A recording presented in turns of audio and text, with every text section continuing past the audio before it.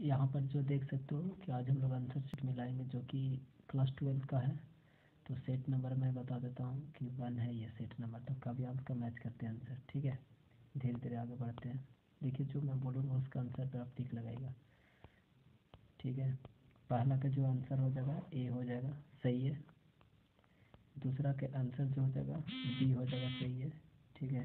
दूसरा का बी होगा। तीसरा का जो आंसर हो जाएगा वो तीसरा का यहाँ पर डी आंसर होगा, ठीक है? रीति, ठीक है?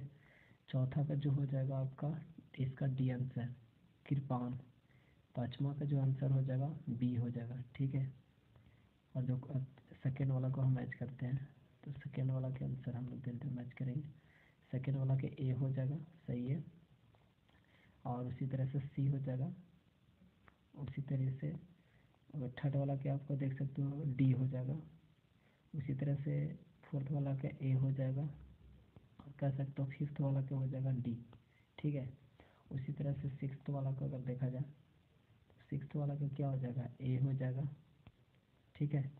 सेवेंथ वाला का क्या हो जाएगा? बी हो जाएगा। उसी तरह से एट वाला का क्या हो जाएगा? एट वाला का सी हो जाएगा। नाइन वाला का क्या होगा? ए हो जाएगा यहाँ पर, जनसंख्या वृद्धि। टेन का क्या हो जाएगा? टेन का यहाँ पर बी हो जाएगा। समाचार पत्र है। और उसी तरह से क्या कर सकते हैं? इसका आंसर प्रे प्रेस से, ठीक है? फ़र्स्ट ए होगा। और इसका थ्री का आंसर जो हो जाएगा, ए हो जाएगा। उसी तरह से फोर का आंसर जो हो जाएगा, और यहाँ पर फोर का आंसर जो डी हो जाएँगे कथा लेखन से। और जो फिफ्थ का हो जाएगा, सिंपली से हम कह सकते हैं, ए हो जाएगा। और इसी तरह से इसका भी फोर्थ का जो कह सकते हो ए ही होगा इसका देखो ए होगा। उसी तरह से फिर इसका सेकेंड का भी ए हो जाएगा। थर्ड का डी हो जाएगा।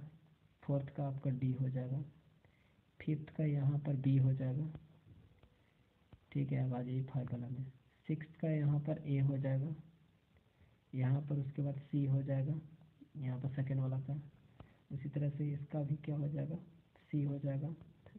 फोर्थ वाला का डी हो जाएगा।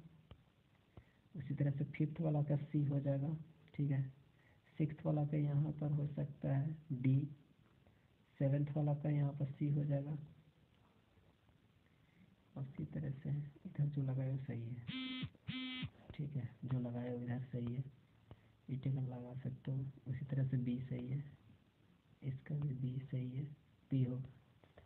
उसी तरह से बी ए हो जाएगा इसका। ए गड होने से।